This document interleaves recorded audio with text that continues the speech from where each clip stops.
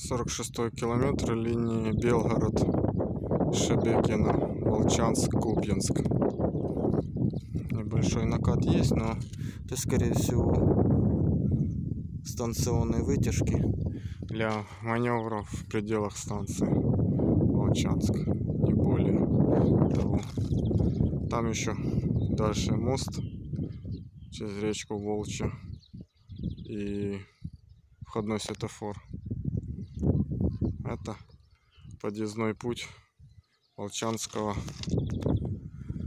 концентратного завода. Group, так называемого. Светофор НМ, нечетный маршрутный какого-то пути. И сама станция Волчанск.